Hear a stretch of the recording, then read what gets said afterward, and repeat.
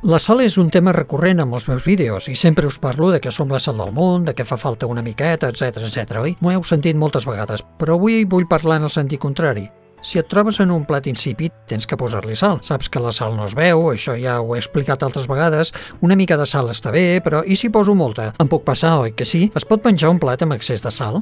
Jo crec que és pitjor l'excés de sal que la manca, fixa't el que et dic, perquè un plat soso te'l menges més o menys, però un que està salat és impossible menjar-te'l. Doncs d'això és precisament del que Jesús va parlar quan va dir que hi ha altres moltes coses que vull dir-vos, però no puc perquè no esteu preparats. Quantes persones de vegades volen compartir tot el que saben de qualsevol matèria, inclòs de la Bíblia, en un espai de temps molt curt? Podem passar-nos al posar sal a la vida dels demés. No els hi exigim massa als demés. Poc a cada dia,